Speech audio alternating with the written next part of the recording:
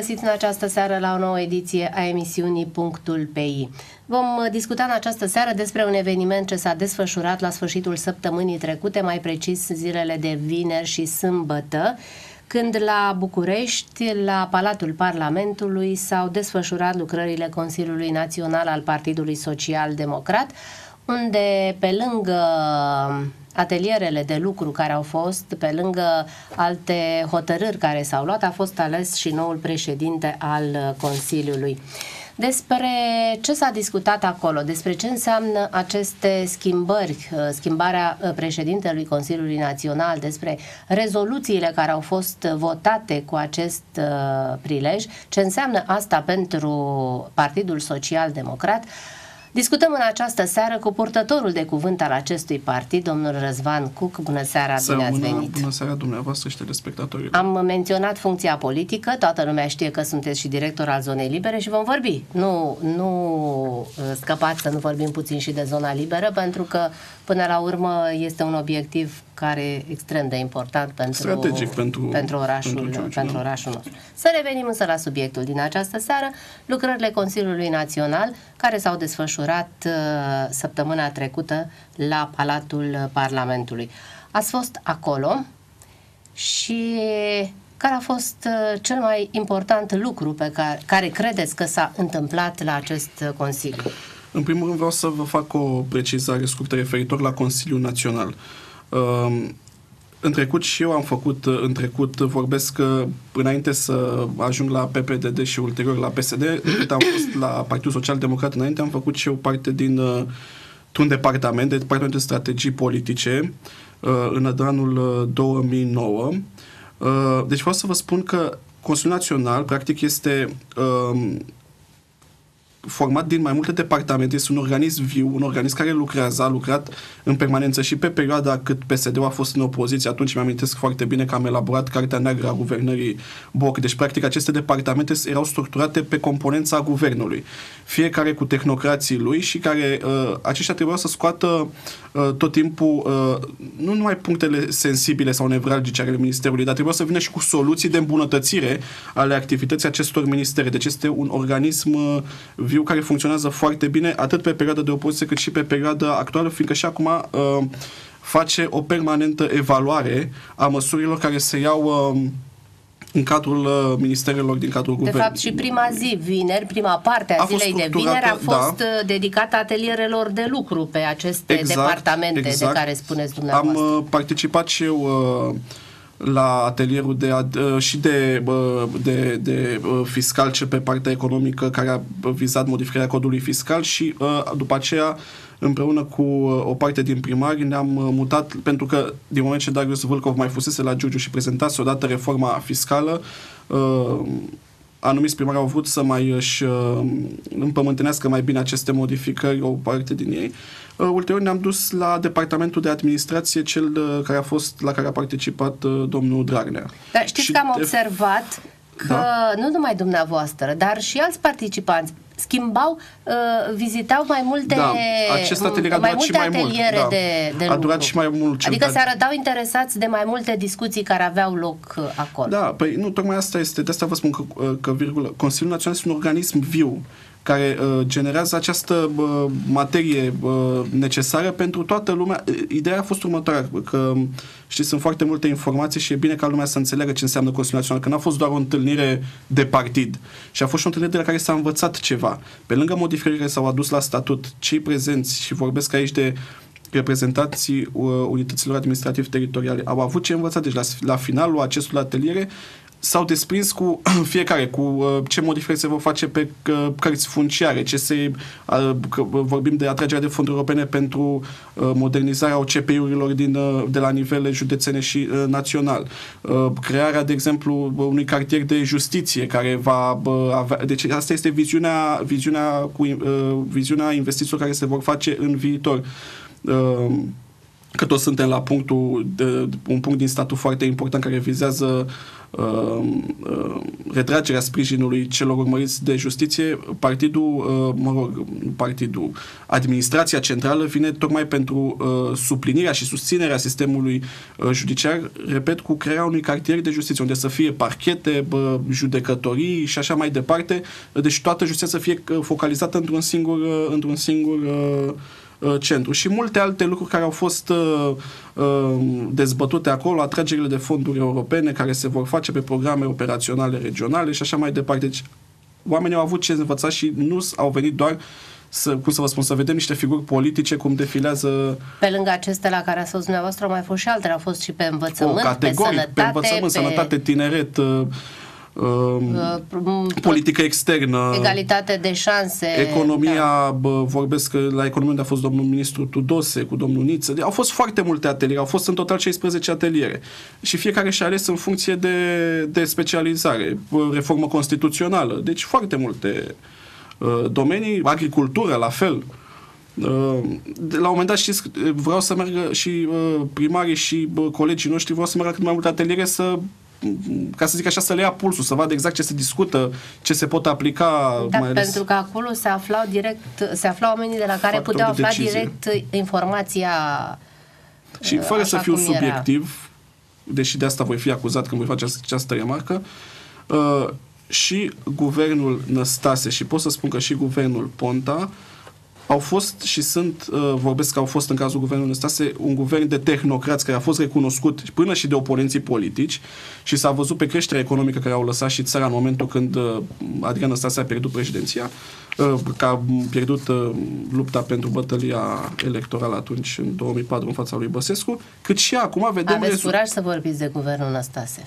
De ce să n-am, doamnă, curaj? Păi da, păi da știți, sunt a fost acuzat că s-a fost cel mai corupt guvern din nu, istoria doamne, eu României. Spun, eu vorbesc de guverne de tehnocrați. Una, ce e, sunt, una sunt acuzele care normal vor fi aduse de oponenții politici, dar bine ar fi când le aduc să fie și sustenabile, pentru că stau și mă uit la ce se întâmplă în zilele noastre și vreau să vă spun că nu sunt de acord cu modul în care uh, se desfășoară cel puțin uh, uh, ancheta aceasta uh, asupra lui Traian Băsescu și aici nu mă refer la procesul cu Gabriela Vrânceanu, firea de uh, amenințare și șantaj, și mă refer la faptul că uh, Adrian Năstase, un mare absent al Consiliului Național, dar pe de altă parte, dacă ar fi participat, iar se făcea o mie de discuții că, uite, partidul uh, oamenilor care au fost condamnați și au făcut pușcărie, vă spun, din punctul meu de vedere a fost marele absent al Consiliului Național pentru că uh, eu l-am prins ca și președinte al Consiliului Național și îl poate acuza lumea de orice, dar acest om este un om extraordinar de deștept. Deci am stat de vorbă cu el, am văzut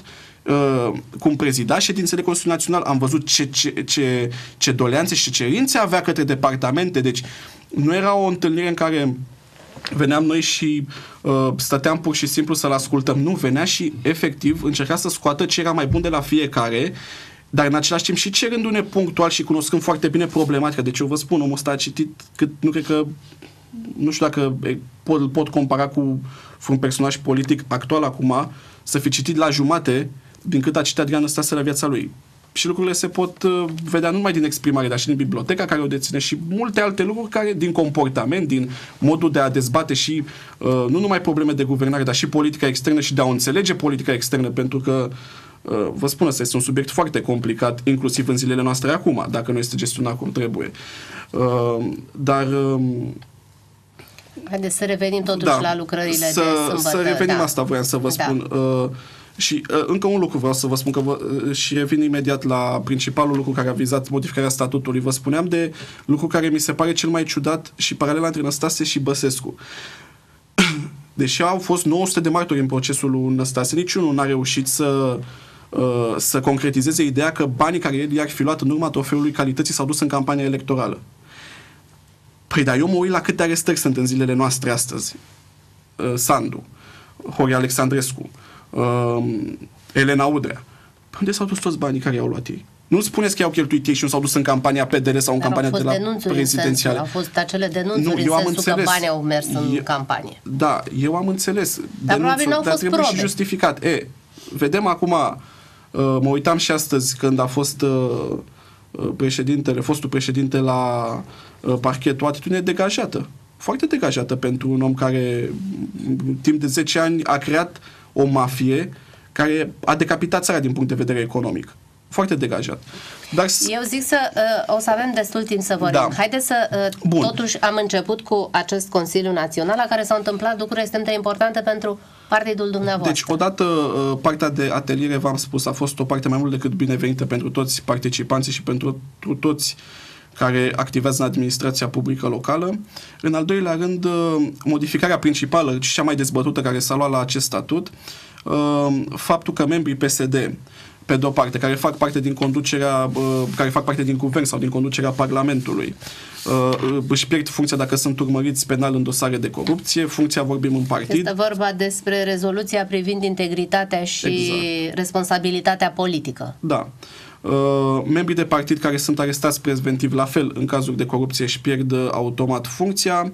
Uh, membrii, de trimiși, membrii de partid trimiși în judecată uh, tot așa în cazuri de corupție își pierd funcția din care au fost numiți cu sprijinul PSD-ului și sunt suspendați din funcția politică în care au fost aleși.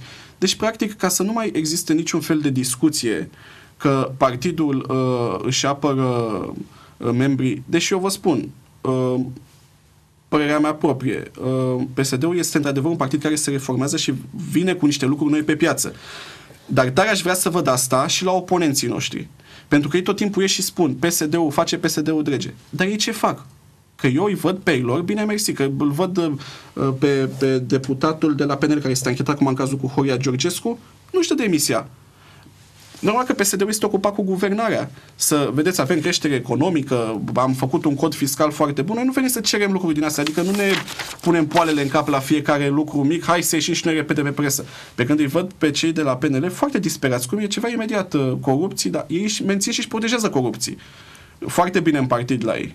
Dar uh, nu credeți că veți stârni nemulțumirea colegilor dumneavoastră pentru că totuși uh, Consiliul, la Consiliul Național au fost un număr de reprezentanți acolo. Uh, în teritoriu sunt foarte mulți pesediști care vor fi nemulțumiți de măsurile acestea. Uh, de, măsurile, uh, de măsurile acestea pe care le-ați adoptat privind integritatea și responsabilitatea politică. Domnule, cred că era nevoie, este nevoie de o reformă. Nu văd de ce ar fi supărați colegii, cei care se știu că au făcut asemenea lucruri sau care, mă rog, vor intra în anume, anumite... Adică ar putea la un moment dat, mă gândesc să și părăsească eventual partidul pentru că nu vor să fie supuși regulilor acestea. Deci un om care ține cu partidul și uh, uh, în, în, uh, împărtășește idealurile partidului, își dă seama că o astfel de condamnare este o pată neagră nu numai pentru el, cât și pentru partid. Și, într-adevăr, dacă ești legat de partid cu adevărat, faci un pas în spate. Nu-ți pierzi și calitatea de membru, de membru. îți pierzi funcția practic, și dacă ești condamnat, normal că speri și calitatea de membru în partid, este evident. Dar uh, acest lucru cu pierderea funcției mi se pare un, loc, un lucru normal. Adică nu ar fi un lucru de egoism ca cel care este anchetat să vrea să-și păstreze și funcția de, nu știu, uh, președinte de Consiliu Județean sau și funcția de secretar general sau ce funcție ar deține în partid și politice. Nu, faci un pas în spate, vezi ce spune justiția, dar din păcate... Păi da, vedeți că aici este o problemă păcate, care e la lucru, noi. Că odată ce ești tăvălit mediatic, cum se face, uh, văd în ultima perioadă justiția la noi, adică ești dus la DNA, dar ești dus cu tot alaiul și cu presa de rigoare, nu știu cât mai poți să revii din punct de vedere politic. Nu prea se și mai dacă, poate reveni, aici e problema. Și dacă, și dacă... Pentru că de obicei procesele durează foarte mult timp. Ceea, spectacolul acesta este viu, este uh, șocant la, cu defilarea, cu cătușele, cu mascați, cu arestări. Uh, procesul durează foarte mult timp, se pierde presa, își pierde interesul că nu o să stea să urmărească fiecare proces și s-ar putea ca la finalul acelui proces omul să fie totuși nevinovat.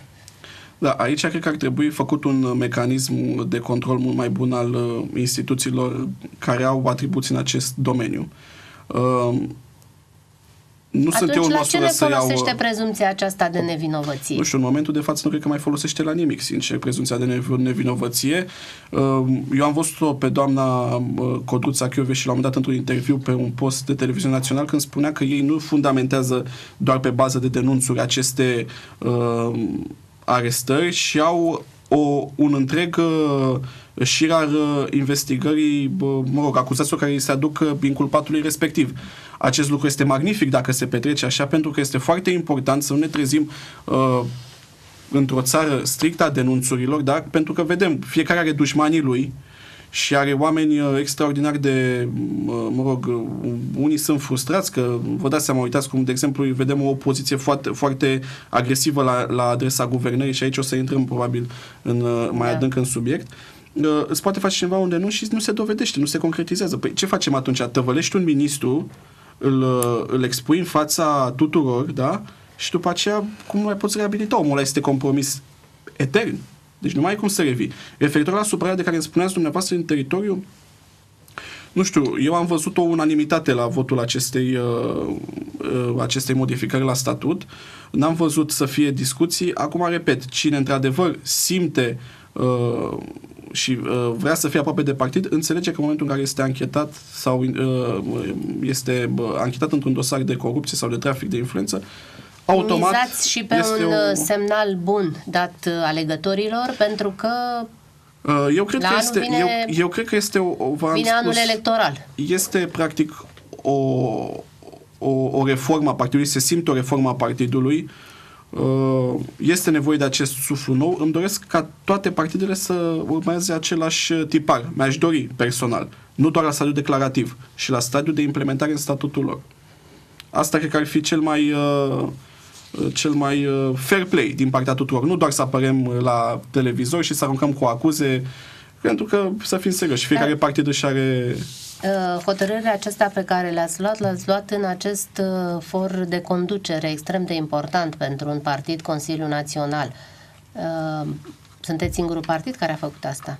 Păi da, eu de asta spun. Deci, practic, Deși ca să spun așa, toată lumea clamează în acest sens că trebuie să se ia măsuri, trebuie să se limiteze. Da, dar și le fac, uh, doamna Brăgău, le fac doar la stadiu declarativ și atâta. Și uh, știți cât de ușor e să arunci cu mocirlă în munca altuia? Păi vă spun, ăsta e lucrul cel mai ușor, îl poate face oricine, nu trebuie să ai trei facultăți. Trebuie decât să ai tupeu. Nici foarte multe cunoștințe. Decât să ai tupeu, să te duci să începi să toci. Da. Vedeți, asta vă spun. PSD-ul aplică, își aplică o politică, legiferează la nivel de partid o politică de excluderea celor care sunt anchetați. Asta este că până la legile, că și doamna uh, și președinta uh, Partidului Național Liberal îi cerea uh, președintelui dumneavoastră, domnului Ponta, să deblocheze anumite legi din Parlament inițiate de ei privind imunitatea parlamentarilor, reducerea imunității parlamentarilor. Dar acelea sunt niște legi. În primul rând, partidele în interiorul lor ar trebui să ia măsuri. Să se reformeze. Păi asta, vă dau un deci asta măsurile ar trebui acum. luate exact. în primul rând în, în mijlocul partidelor și apoi, pentru că fiecare își are problemele pe care le are. Nu cred că există partid care să nu aibă probleme. Categoric, că nu, nu cred că este... Uh, Mai ales care uh, să se fi și aflat la guvernare. Că de obicei în opoziție mai, în, mod, în mod normal, cei care, intră, cei care intră în administrație ar trebui să practice doar administrația.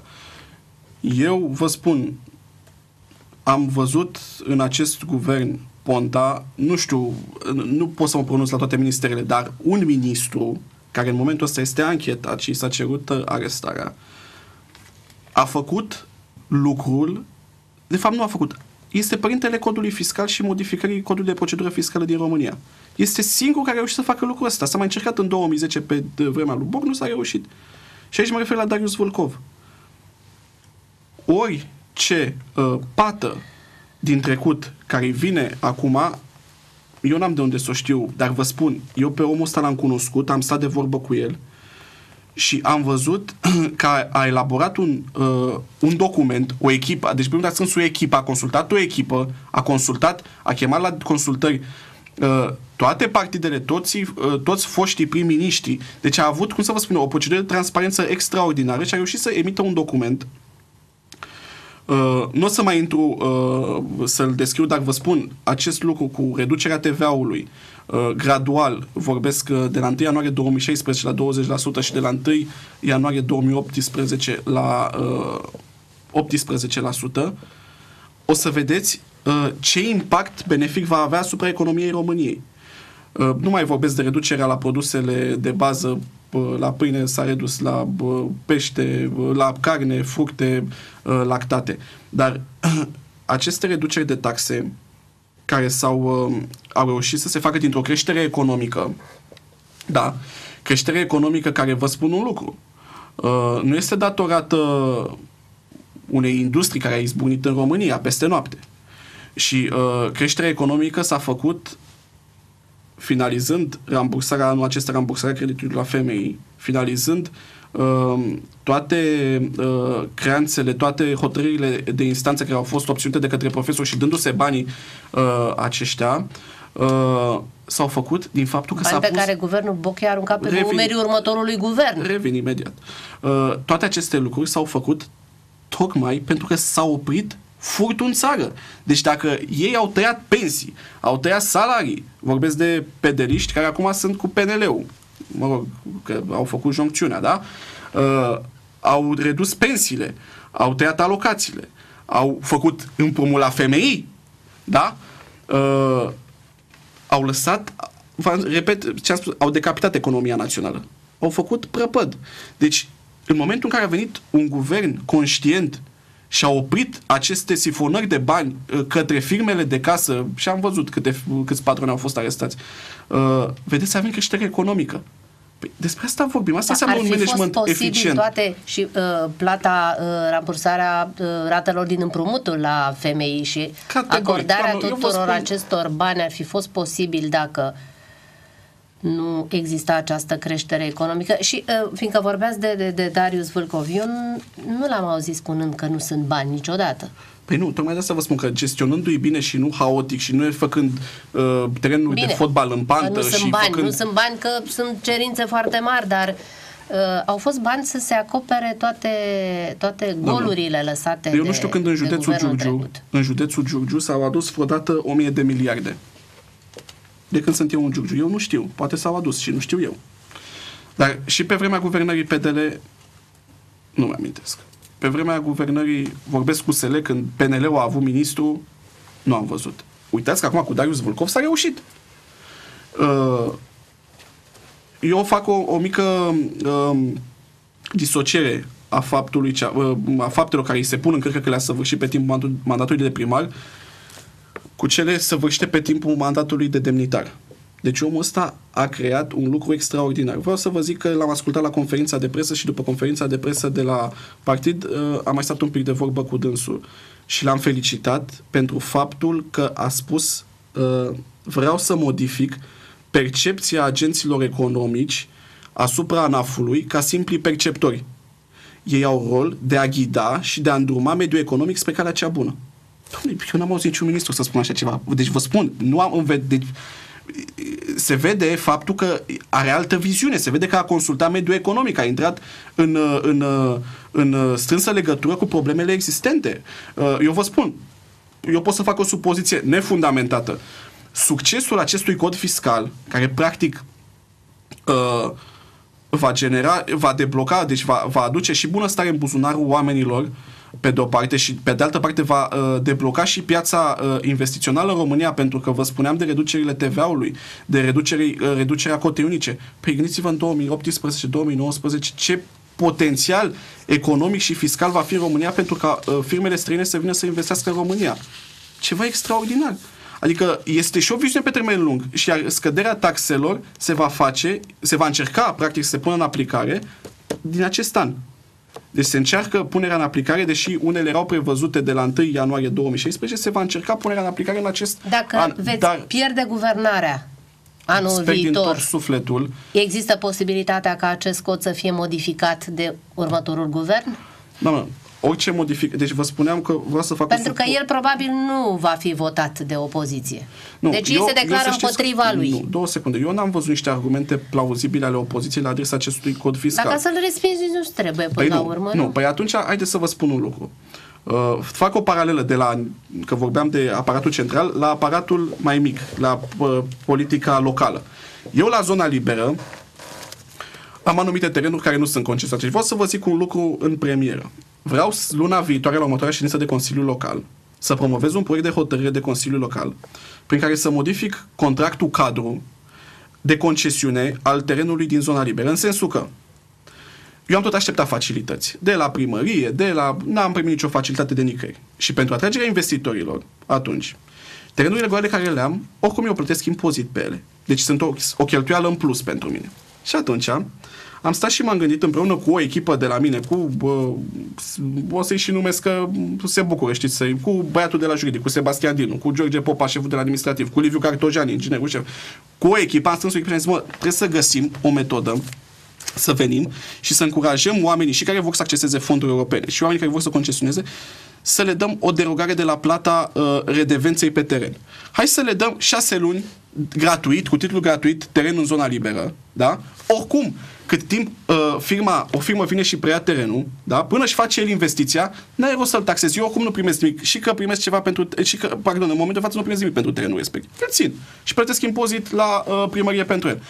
Păi dacă îmi vine o firmă îi dau șase luni terenul gratuit, automat preia și impozitul să-l plătească la teren, că mă degrevez eu de o cheltuială, dar îi fac o facilitate ca și zonă liberă. Deci noi cu astea trebuie să venim în sprijinul agenților economici. Vă spun de pe acum, suntem în cât? Adică în... mergeți pe ideea că dacă uh, uh, nu pierd, înseamnă că am câștigat, nu? Exact, deci eu oricum n-am de pierdut nimica. E, și uh, din contră, mă degrevez de o cheltuială. Suntem pe data de 24. Eu vă spun, că luna viitoare, dacă vreți să ne mai întâlnim o dată după ședința de Consiliu Local, dacă nu se opune cel puțin două persoane de la PNL la acest proiect și cu tam-tam o să fie, că mă arestează, că cine știe ce vreau să fac eu, o să aveți mari surprize. Pentru că asta fac ei.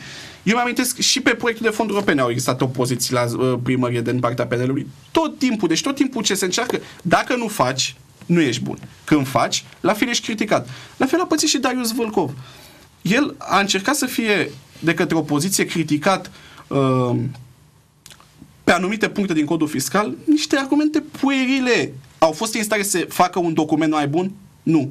Păi atunci ce vii să critici? Când uh, acest document, cum să vă spun eu, practic lovește ambele sfere, și cea socială și, și mediul privat. Deci, și, și nu vine să vă dovească niciuna dintre aceste părți.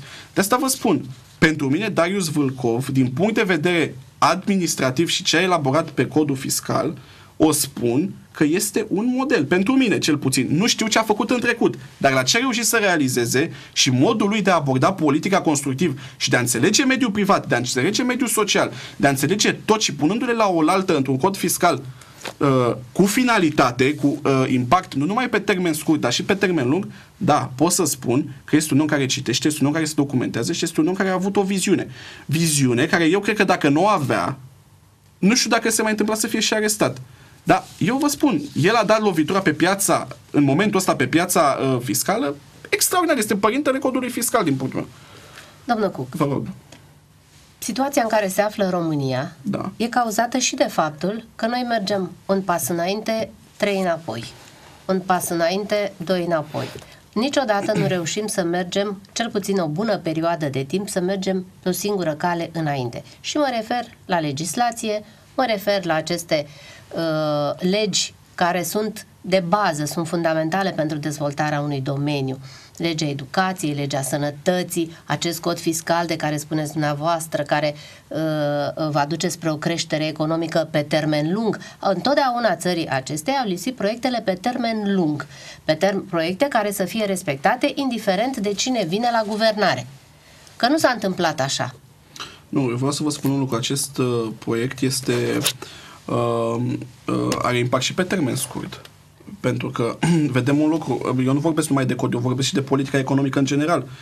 Vă spuneam mai devreme și repet, politica economică dusă de uh, guvern a fost una de reîntregirea salariilor, a pensiilor și a tuturor lucrurilor. Deci a avut și impact pe termen scurt, pentru că nu a venit să spună guvernul, domne, știți, vă dăm banii din 2016. Nu și-au primit la sfârșitul, uh, uh, mi se pare chiar până la sfârșitul lunii martie trebuie să plătească o nouă tranșă din uh, aceste hotărâri judecătorești. Da, și o veste uh, pentru profesori, profesori, da, și o veste bună este că își vor primi banii și cei care n-au in, uh, atacat în instanță Inițial, da. hotărârea prin uh, sindicatele din care au făcut parte și cei care n-au uh, Pe de o parte uh, date în s-au, judecată s-au, guvernul. deblocat, uh, s-au deblocat proiecte europene, deci sunt o grămadă de, de uh, s-au redeschis spitalele care fuseseră închise, deci sunt o grămadă de lucruri care s-au făcut și pe termen scurt și le vedem impactul lor.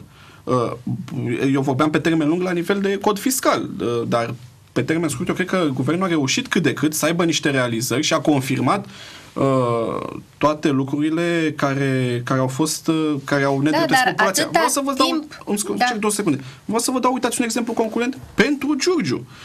Uh, în urmă cu trei săptămâni a fost aprobat, v-am spus, uh, am uh, ieșit și într-o conferință de presă și am spus, acel proiect de 16 milioane de euro pentru, uh, pentru între, mă rog, uh, colaborarea între zona liberă, municipalitate și ILR Logistic România. Un proiect care va aduce, uh, cum să vă spun eu, un lucru inovativ și unic în România, vorbind de acea hală trimodală, uh, și vă spun că acest lucru nu ar fi fost posibil fără deschiderea și înțelegerea domnului ministru Teodorovici, ministrul fondurilor europene. Că dacă tot l-a răudat pe Darius Vulcov, haide să laud și pe Teodorovici, care a făcut un lucru bun pentru Giurgiu, pe de altă parte. Pentru că dacă nu obțineam uh, uh, semnătura pe, pe, pe foaia de aplicare uh, pentru fonduri, am obținut-o, uh, miercuri era ultima zi și ne-am obținut-o marți la ora 9 seara, vă spun că se pierdeau, nu erau vorba că se pierdeau banii, că hai să zic că am fi accesat, dar se pierdea un concept, o idee, care la fel pe termen lung o să vedem că această hală trimodală ce va genera pentru Giurgiu. Și în primul rând că va fi, nu numai pentru Giurgiu, dar și pentru țară, că va fi un caz de best practice în care toată lumea va veni să vadă hala trimodală din România. Este unică în România. Această hală în care vor intra barșele și vor pleca mărfurile pe uh, transport rutier și pe cale ferată. Într-adevăr, nouă uh, aprobarea proiectului final de la Comisia Europeană ne va veni la sfârșitul lunii august, începutul lunii septembrie. Până va fi licitat proiectul și vor veni, vor trece 2 ani. Dar în următorii 2 ani, eu de asta am și vrut să aducem proiectul pe o linie dreaptă, că indiferent ce se va întâmpla din punct de vedere politic, să nu mai poată fi distorsionat de către nimeni. Indiferent. Dacă, Doamne ferește, nu știu, se pierde primăria, se pierde orice, luăm în calcul. Nu putem fi, că eu când îi văd pe toți că zic, Doamne, câștigăm, facem. E foarte greu de anticipat mentalul alegătorului. Eu spun că fiecare om cât este pus într-o funcție trebuie să-și facă treaba cum poate, pentru oameni. Asta este normal și de asta suntem puși acolo, asta înseamnă administrație. Ne zbatem, batem pe la ușile ministerelor, pe la Văd uși... că mulțumiți uh, mai multor miniștri. Da. Uh, Spuneți că niciodată nu s-au adus atâția bani uh, către, uh, n-au venit atâția bani către administrațiile locale. da. Păi așa, e. Uh, Mulțumiți ministrului Teodorovici. Teodorovici pentru așa. Uh, Este important ca cineva să insiste la guvern pentru lu- ca lucrurile acestea să se întâmple într-o comunitate? Este foarte important și Să ai pe cineva care să atragă atenția asupra comunității acesteia? Este foarte important și pe, mă rog, aici, știți, o să dau exemplu că n-am cum să nu-l dau, deși nu vreau să spună lumea că am venit la emisiune ca să laud pe domnul Bădălău, dar domnul Bădălău pe noi așa ne-a învățat să facem. Bă, documentați-vă, citiți, fundamentați-vă tot ce aveți și vă duceți și vă prezentați. Nu, Eu vă întreb în sensul că au mai fost și alte guverne, Doamne, au fost ale și alte altor guverne. partide, Eu vă dar n-a fost niciodată așa o afluență de miniștri, chiar însuși primul ministru a venit De trei uh, ori. de trei ori în, uh, într-un timp uh, foarte scurt în Giurgiu Da, și ave- s-a întâlnit cu, cu Eu administrația cred că locală. asta este rolul și președinților de organizație ale partidelor care sunt la guvernare uh, și rolul parlamentarilor din care sunt aleși în partidul de, de guvernare sau în alianță să-i aducă, dar bine și acești miniștri trebuie aduși ca și premierul pentru niște lucruri concrete. Nu poți să aduci omul doar, știi, hai ți l-am adus pe unul la el că e ministru. A, ce bine arată, ne facem două poze, le punem pe Facebook. A, să zică lumea că sunt prieten cu ministrul. Nu. Ministrul ăla trebuie să vină și să, cum a vorbit Darius Vâlcov, a prezentat uh, vorbesc la întâlnirea ulterior care Da. a avut-o cu, cu primarii, a prezentat modificări la codul fiscal, uh, a dezbătut uh, probleme de echilibrare bugetară la uh, bugetele locale, le explica primarilor ce se, ce se întâmplă, pentru că unii dintre ei uh, nu înțeleseseră exact uh, modificările acestea de împărțirea bugetului către comune, fiindcă s-au modificat un pic. Uh, Totodată, uh, uh, vă spun că uh, faptul că ministrul Vâlcov a venit foarte bine pregătit la Giurgiu uh, a fost un impact benefic uh, inclusiv în rândul oamenilor din administrațiile locale. Pentru că, eu vă spun, am stat cu teamă la un moment dat, zic, Doamne, să nu se plictisească primarii, să nu... Nu, când a plecat Darius Vâlcov, au zis, ăsta este un băiat deștept. Asta au fost zis cu cuvintele. Ăsta este un băiat deștept. Eu de ce spun lucrul acesta? de intervenții pentru comunitatea locală, pentru că poate fi un criteriu pentru noi, alegătorii, că avem an electoral la anul, să vedem cei care uh, vor să-i votăm, să îi, uh, cum să spun, să-i calificăm și prin această prismă a interesului pe care îl acordă la propriul guvern pentru comunitățile lor. Eu la modul la care se interesează. Da, aveți perfectă dreptate. Eu vă spun un lucru. Asta, pe de altă parte, denotă, să nu zic forța liderului de partid, dar denotă și interesul, cum a spus și dumneavoastră, pentru că în momentul în care uh, tu ai niște uh, uși deschise la București, poți implementa proiecte eficiente și pentru comunitate. Că altfel este foarte greu. Adică dacă te plafonezi doar la nivel de uh, municipiu sau de județ să stai într-un birou, vă spun că nu va evolua nimic, că la e un mandat ratat. Al oricărui, al oricărui da. persoane care îl ocupă. Uh, nu vreau să mai, să, să mă iau iar de, să, să mă iau în sensul să îi aduc uh, reproșul domnului Mustățea, dar pe cuvântul meu, dacă eu am văzut un interes de al unui ministru penelist, cât dânsul a fost uh, cât a fost practic USL-ul, dacă am văzut uh, un ministru venind și dându-și interesul pentru, pentru Giurgiu. Deși era fief, în momentul ăla fief PNL. Știm foarte bine. A însemnat la un moment dat eu cu zona liberă un acord cu ministrul Gera, era pe atunci ministrul. Poate că n-a fost să insiste la da, ei, pentru că nu... Vă spun, este și în interesul ministrului și în interesul oricărui guvern să-și trimită... Nu știu dacă ați văzut că... Da, uh, domnul Cuc, dar țara e mare.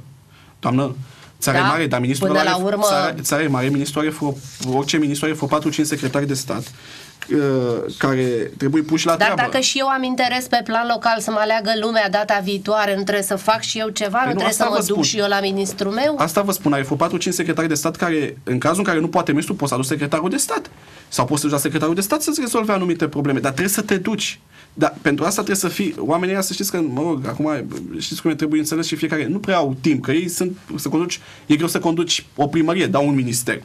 trebuie să duci punctual, cu temele foarte bine făcute. De asta spun că oamenii politici, o parte din ei, din zilele noastre, ar trebui să mai lase tupeu și tupeu, de le-am numit pe amândouă, fiindcă astea sunt realități care le au, și să se documenteze. E foarte important să stai cu o noapte, două, cinci, cu pixul în mână, să citești tot ce ai de făcut, să-ți faci un conspect foarte clar, după care să tu să prezinți în 5 minute, 10 minute problema ministrului și să vii cu o soluție.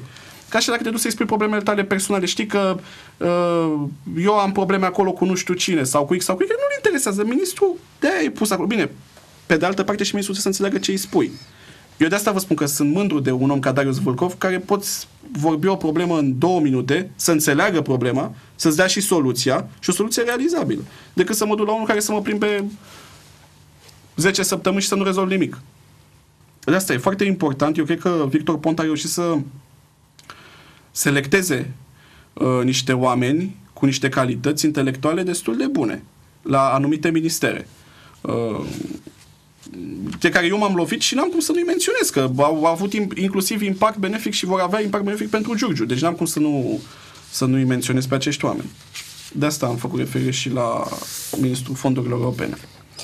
Apropo de ceea ce spuneați și de, de Victor Ponta, acesta a avut un raport al, uh, făcut la acest uh, Consiliu Național, uh, raport asupra anilor de guvernare, despre ce merge bine, ce poate fi îmbunătățit. Și se pare că din tot ce și-a propus acest guvern, se pare că până la această dată și-a a realizat cam 80% din, uh, uh, din măsurile pe care și le-a propus uh, deci din promisiuni, ca să spunem așa, au fost îndeplinite până la acest moment. Da, într-adevăr, așa este. V-am menționat mare parte din ele care au avut impact social și cred că practic asta și interesează în final și la urmă urmei omul să-și primească ceea ce a fost luat și să simtă o bunăstare în buzunarul lui. La asta se, se rezumă toată filozofia îndreptării nedreptății făcute de către guvernul Box, sub bagheta magică a lui Băsescu. Că Că practic știm foarte bine că Băsescu ieșea, anunța măsurile, Boc după aceea le punea în practică. Și acum mai vedem, de asta este un lucru pe care nu pot să trec, vă spun, uh, această topire a PDL-ului în PNL și transformarea PNL-ului, mare atenție, deci nu PNL-ul a absorbit PDL-ul, PDL-ul a absorbit PNL. Da, până la urmă, ce vă deranjează Tupeu, că doamne. PNL, PDL-ul și-a găsit adăpost în PNL sau că PNL-ul, ca fost partener al PSD-ului, a acceptat acest Domnule, eu uh, PNL-ul compromis? l-am văzut uh, altfel în vremea USL-ului. Eu atunci făceam parte din altă formațiune politică. Dar îl Păi vedeam... tocmai de aceea înseamnă că aveți o privire chiar obiectivă asupra ceea ce Eu era l-am văzut atunci. altfel. Am văzut un partid care totuși avea uh, o gândire benefică. Uh, văd că, mă rog, uh, după ce s-a contopit cu PDL-ul, a devenit un partid, uh, cum să vă spun eu, nu vreau să-i jignesc, că cine știe mai mă trezesc și dată în judecată, dar au devenit un partid uh, foarte tupeist. O să folosesc cuvântul ăsta tupeist pentru că uh, tupeul lor este unul nefundamentat din punct de vedere intelectual. Ei doar vin și țipă. Atât. Văd că este o disperare acum la adresa votului vis-a-vis de... Dar chiar, de ce este? Chiar uh, exact așa, bine ați spus, o disperare. La o adresa- disperare a opoziției cu privire la aceste două voturi care vor, uh, se vor desfășura Da. mâine până la urmă în, în Parlament. Eu aș vrea să văd urmă. De tupeul derivă din următorul lucru. În momentul în care eu vin și vă reproșez dumneavoastră un lucru, dar eu nu-l pun în practică pentru mine. Atunci eu sunt tupeist. Vin și vă, și vă și reproșez la nivel național. Ies pe presă și vă fac, vorbesc uh, fără a avea niciun fel de... uh, ca și exemplu. Ei vin și țipă referitor la votul pentru Darius Vâlcov și Șova. De ce au făcut Varubajan Vosganian? A, în cazul lor, când Varujan Vosganian a răma, n-a fost anchetat și nu s-a dat practic aviz favorabil uh, pentru urmărire, uh, a fost o scăpare care o vom îndrepta. Nu văd modificarea statutului prin care să fie dați afară din partid.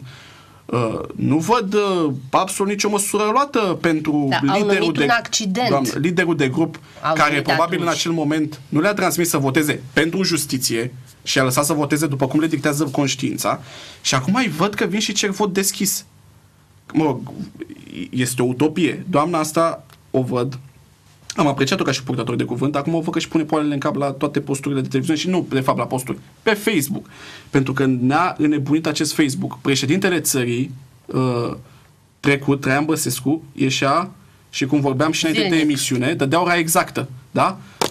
Pe Iohannis îl vedem pe Facebook. Deci noi practic o să închidem toate televiziunile și o să rămânem cu Facebook-ul toți. Nici nu mai trebuie să facem nimic. Ne facem poze cu copii, ne facem poze la mâncare, le punem Deci, pe Facebook și Aici dați-mi voie să fac o paranteză. Pe ecranul televizorului vezi personajul, iar ceea ce spune știi că spune el. Pe Facebook Doamnă, eu pe am Facebook, rezerve eu vă dacă spun scrie că însuși președintele sau este... La sută din ce vedem pe Facebook sunt imagini care vor să fie transmise și să fi, te faci plăcut ca și individ pe Facebook. Hai să luăm la decelat să vedem ce știe fiecare. Și atunci vedem dacă ești bun sau nu. Nu pe Facebook. Eu pe Facebook uh, vă spun Pot că... să compun ceva Exact, care am să iasă timp, bine. Am timp Să 10 creezi o 10 imagine zile, care nu exact. reprezintă realitatea Exact. până la urmă. Uh, pe- Pe când uh, o văd uh, pe, pe doamna Gorghiu că cere uh, vot deschis.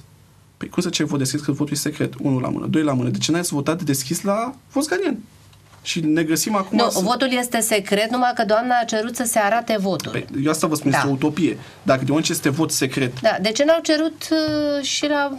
nu, deci Domnul cum să, de Volkswagen ce vot lucrul secret, acesta. cum să arăți uh, Păi- bilele? Adică e, e ceva ieșit din comun. Nu, să să nu înțelegeți greșit. Uh, eu nu contest uh, modul, uh, modul lor de a cere acest, acest vot deschis. Pe lângă că este ilogic să cer din vot secret vot deschis. Așa este legea, așa spune că trebuie să votezi. Deci nu pot să-l schimb eu după bunul meu plac. Dar în același timp, de ce nu s-a aplicat lucrul ăsta și la Volkswagen? Și acum spunem că a fost o scăpare. Dă la afară, rep- repet ce am spus, D- dă-ți afară liderul de grup de la Senat, de la afară, pentru că n-a fost în stare să voteze pentru justiție, da? Dă-ți la afară, sancționează oamenii din partid, pentru că vă, vreau să vă spun un lucru. Și PDL-ul, uh, că, mă rog, eu să le spun PDL, că n-am de ce să le spun altfel, uh, că au îmbrățișat uh, această atragere a oamenilor uh, pedeliști, a foștilor pedeliști la, la, la ei în partid și au lăsat să-i acapareze. este un partid uh, relativ uh, disciplinat. Să fiți sigur că înainte de fiecare ședință se întâlnește și stau de vorbă cum vor vota.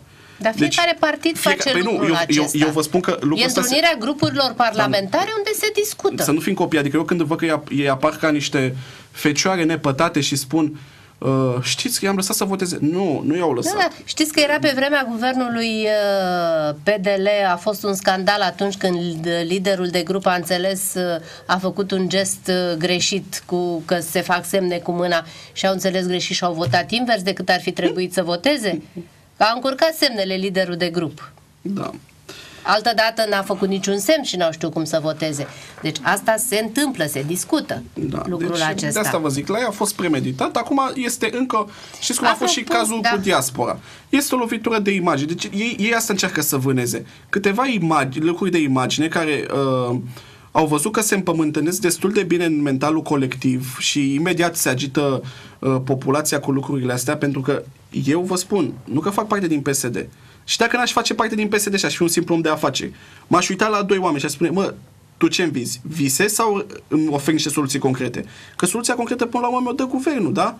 Tu vii și îmi spui, uh, uite că la n-a votat nu știu cum. Mă, da, ai venit să aduci o modificare, nu știu, la codul fiscal, la codul de procedură penală, la codul civil, la ce... ai venit cu ceva concret sau toată ziua vii și acuzi. Vii și acuzi. Toată ziua eu sunt nemulțumit de ceva. Asta e opoziția, trebuie să existe opoziție. Apropo de vot, uh, de acest vot secret care este, așa e legea, așa se votează prin vot secret.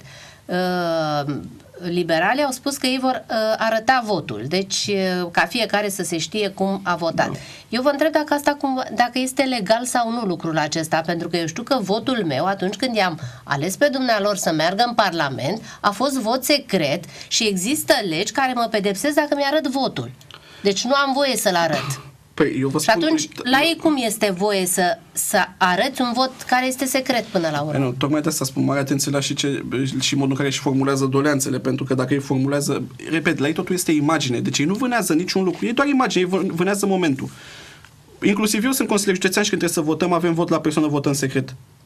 Indiferent și dacă este vorba de o numire, vorbesc ca unui consilier și este o singură propunere pentru o nu știu, funcție, Consiliul de Administrație, orice, votăm secret. Că dacă nu atacă prefectul. Repet, chiar dacă este o singură propunere, nu mai sunt alte propuneri din sală. Votăm secret. Păi, doamna Gheorghiu, ce ne învață? Facem legea cum vrem noi, doar să ne facem imagine. E asta ne spune. Votăm la vedere ca în cazul în care se, o să fie al vot să am și eu carne, să am și eu niște muniție Uh, cu care să pot ieși pe postul și să acuz uh, PSD-ul. Da, ea ar trebui să uite în propria o gradă și să vadă ce au făcut cu ai lor. Și după aceea să vii să te uiți în o gradă altuia. Că noi da. ne-am evaluat, repet, ce am spus și la începutul emisiunii. Noi am legiferat problema oamenilor care au uh, dispute cu instanța, cu instanțele de judecată. La ei nu văd decât vorbe, atât. Deci, uh, uh, am să vă arăt că mi-am uh, scos aici câteva date legate de această duplicitate. Pe 12 februarie, când a fost votul, când Vosganian, Vosganian a scăpat, da, doamna Gorghiu spunea acest vot nu este definitoriu pentru PNL, îl consider un accident. Uh, asemenea situații sunt de neacceptat. Când a fost vorba mai târ- uh, înainte la doamna Udrea, a spus așa, în această seară vom vota atât pentru începerea urmăririi penale a Elenei Udrea, cât și pentru cea de cerere de arestare preventivă. Deci se știa clar cum vor vota. Apoi vine rândul uh, celor doi de la PSD și spune că PNL nu se va opune măsurilor cerute de DNA, iar votul liberalilor va fi la vedere. Am stabilit împreună ca senatorii cu uh, senatorii liberali să luăm măsuri suplimentare pentru ca nimeni să nu poată incrimina PNL în cazul în care majoritatea parlamentară îi va apăra pe cei suspectați de fapte penale. N-ar fi fost corect să se asigure că nu-i suspectează nimeni și în cazul domnului Vosganian? Era mai corect atunci. Eu sunt, uh, eu sunt tânăr, dar nu sunt uh, naiv. Nu, repet, este lupta pentru capital politic și de imagine. Atât. Dar nu înțeleg care e miza acestor doi oameni. Pentru că ă, se întâmplă ce nu s-a întâmplat niciodată. Începând de ieri, este o campanie furibundă pe internet, ă, pe ziarele online, uh, în, uh, într-unul din ziarele online a apărut chiar uh, sunet senatorul și întreabă-l cum uh, va vota. Au fost uh, date, uh, publicate toate uh, uh, uh, toți senatorii și cu, pe colegii din toată țara, cu persoane de contact unde uh, pot fi Da, doamne, găsiți. este eterna presiune care se pune. Nu, este o presiune nejustificată. S-au dat telefoane la birourile parlamentare, Da. s-au dat telefoane senatorilor. De ce este miza așa de mare? Că până Eu la urmă le-aș da nu telefoane- e prima dată când se votează. Eu le-aș da telefoane tuturor parlamentarilor să văd și eu exact cam ce fac ei, mare parte din ei. Eu vorbesc, dacă tot, uh, uh, și la PNL și de la alte partide. I-aș mai suna, pentru că vă spun un lucru, uh, nu sunt de ajuns uh, uh, șicanele astea și uh, loviturile astea de imagine care încearcă să le dea vremelnic doamna Gorghiu, pentru că dânsa ar trebui ca și președinte de partid să vină cu niște soluții concrete, cu niște oameni competenți, tehnocrați, da? cu niște, că ei vor guvernarea, eu nu știu cu ce oameni vor guverna ei, dacă ar lua guvernarea. Uh, mă uit deseori să știți că eu mai urmăresc uh, activitatea parlamentarilor și văd că sunt foarte mulți care, domne, facem interpelări. Cu ce sunt? Ce, ce, ce, ce finalitate au interpelările? La unii dintre ei cel puțin. Uh, Unele, dacă sunt bine documentate, bine întocmite, Doamne, pot eu vă avea pot da niște exemple de- răspunsuri. eu vă dau exemple, dacă vreți- Dar dacă sunt făcute ca să fie la auziți, număr, Vă rog eu frumos. Sau își pun semnături pe legi că sunt 30, hai să-mi pun și o semnătură și habar n-au ce fac. Mulți nu știu ce scriu în interpelările alea. Deci vă spun, sunt oameni bine pregătiți și senatori și deputați, dar sunt și foarte mulți care bat câmpi. Foarte mulți. Și mare parte eu vă spun că am început să-i cam văd uh, pe Facebook. Foarte activ pe Facebook. Că dacă îi scoți la televizor să discuți codul fiscal cu ei sau dacă îi scoți la televizor să vorbească de ce au făcut ei pentru județele în care au fost aleși, ale, aleși sau uh, alese, uh, că sunt și doamne și domni, vă urmăsc cu o lungă pauză în care nu vor avea ce spune. Și vin cu trei fițuici. Uite, am întrebat de, nu știu, desene animate sau nu știu ce, ce le trece lor prin cap. Uh, nu. Eu altceva voiam să văd de la, de la unii deputați. Și inclusiv de la doamna Gorghiu. Repet, nu doar să-și pună poalele în cap la toate posturile de televiziune, mă rog, sau pe Facebook, Uh, și dacă, cred că ar trebui să facem un exercițiu, să închidem o săptămână Facebook-ul, să vedem ce se mai întâmplă. Domnul Cuc, au trecut 25 de ani de, de la Revoluție, do- 25 de ani de democrație. Au fost uh, partide de la guvernare acuzate de comunism. Ori fi fost comuniști, au fost cei care au plecat din 89 de acolo, s-au mutat în partea stălată și au condus. Așa au fi fost. Dar au trecut 25 de ani, au apărut din fericire pe scena politică oameni politici ca dumneavoastră, ca Alina Gorghiu, oameni tineri. Oameni tineri de la care noi cei care suntem pe ultima sută de metri, așa să zicem, avem speranțe că veți avea o altă viziune, o altă atitudine și că veți face altfel decât a fost politica asta nenorocită dusă în România de autodistrugere, practic. Că asta a fost. Noi niciodată n-am avut o, o continuitate pentru că uh, tot ce, ce a fost bun s-a distrus din cauza unor interese, care, iată, le vedem acum ieșite la, la iveală. Da. Da? Pentru că în urmă cu... De ce suntem așa? De ce nu puteți fi dumneavoastră politicienii tineri care vă ridicați acum noua clasă politică tânără? De ce nu puteți fi altfel decât au fost ceilalți? Da, Vorbesc în general. da, am înțeles. Da, în general, pe, nici nu mă pot compara eu cu Alina Gorghiu, pentru Dar că... faceți parte din aceeași generație. Facem parte din aceeași generație, mă rog, da, aproximativ. Uh, nu știu, eu am o altă viziune și eu am încercat tot timpul să iau uh, lucrurile care le-am văzut mai bune la generația mai în vârstă uh, politică uh, și vorbesc lucruri bune cum ar fi uh, tot timpul uh, documentarea, studiul și încercarea uh, de a veni cu soluții pașnice și subliniez cuvântul pașnice, nu uh, cu țipete și cu tam-tam și cu... Deci uh, atitudinile multe astea ori- belicoase au, da. au, au Nu, dus vă țara spun unde un au lucru. dus-o până la urmă. Să știți că aici este și o problemă de, de, de educație, pentru că uh, lumea vrea tot timpul să vadă circ. Nu toată lumea, dar o mare parte a populației vrea să vadă sânge. Eu mă uit, uh, o să revin la aceste anchetări făcute de DNA. Vă dau o speță care v-am spus-o practic de-a lungul emisiunii în intervenție. Uh, lumea ce, uite, l-a luat pe nenorocitul ăla că a luat un milion de euro sau nu știu ce. Dacă denunțul făcut, repet, nu se adevrește și l-ai nevinovat. L-ai tranșat, l-ai făcut praf pe omul ăla. Praf, adică vă întrebați de prezumția de nevinovăție. Hai să-l anchetăm, hai să vedem, venim cu probe și dacă e vinovat îl bag la pușcărie. Dar nu-l termin. E, vedeți, lucrul ăsta totuși, mă uitam la un sondaj. DNA-ul este pe prima poziție în România ca și încredere. Și este... Uh, au dreptate oamenii să gândească așa și chiar dacă se lasă păcăliți, este, este dorința asta pentru că de 25 de ani toți speră că vor trăi mai bine, că va fi mai bine și nu se întâmplă nimic. Ei trăiesc din ce în ce mai prost și iată ce apare la televizor vă închipuiți șpagă de 10 milioane de euro. Ce vorbim, deci doamne, este, la Evanghelie, sunt 90 niște de milioane sume de, de pe care mintea unui om normal care trăiește din munca lui de zi de zi și cu o pensie poate de 5-6 milioane până în 10 milioane, nu poate percepe.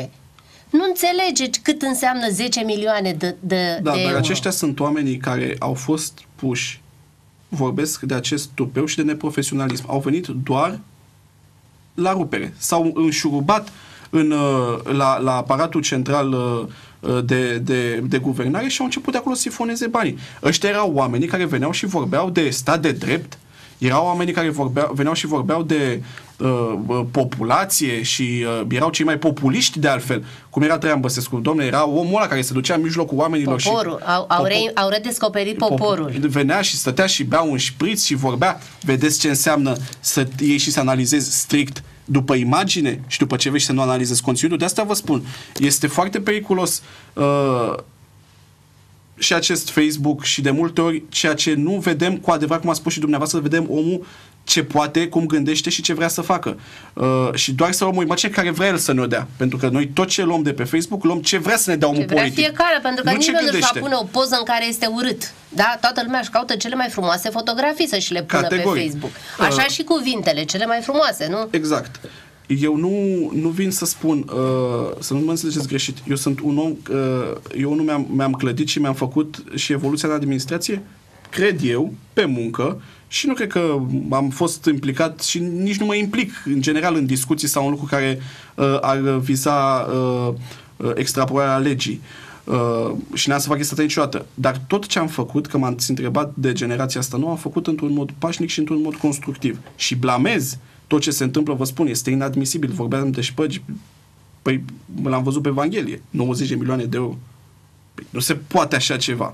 Nu se poate așa ceva. Și la un moment dat spunea, mi-amintesc la uh, când a avut lansarea, nu știu dacă și-a mai făcut partidul cu John, că a primit telefoane din Giurgiu. Aș vrea să văd și eu care sunt oamenii care l-au sunat din Giurgiu. Chiar aș fi curios să văd. Susținătorii lui din Giurgiu, care sunt lângă el și pleacă cu el. 90 de milioane de euro și pagă? Pe despre ce vorbim? Și bani sifonați?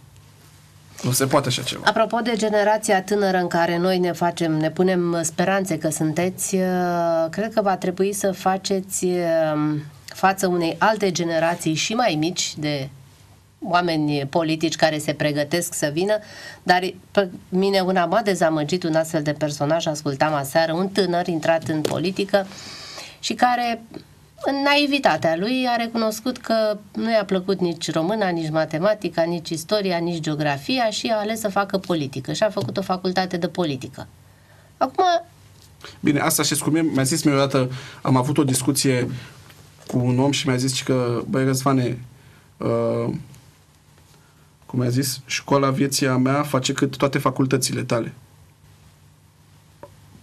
Vă spun că m-a blocat în momentul ăla am rămas așa, zic, băi, dar cât tupeu poate să aibă. Deci, pe asta se, vă dați seama că un om care nu are un CV cu ce să iasă în față, nu va spune, domnule, am școala vieții sau am școala politicii.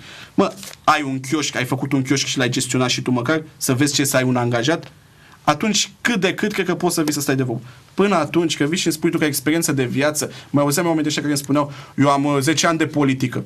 Păi, dar ai 10 ani de politică și n-ai făcut nimic, niciodată ai fost, nu știu, n-ai avut un proiect cu care să ieși în față, da? Degeaba te elogiezi tu pe tine cât timp nu se recunoaște meritul ăsta. Vino și fă ceva concret. Eu dacă mâine uh, plec de la zona liberă, eu știu că am lăsat ceva în zona liberă. Am făcut un drum, am accesat fonduri europene, am dus zona liberă pe profit. Am făcut ceva. Nu am stat aici, am avut, uh, nu știu, m-am plimbat cu o mașină și am zis, domnule, sunt director general. Nu!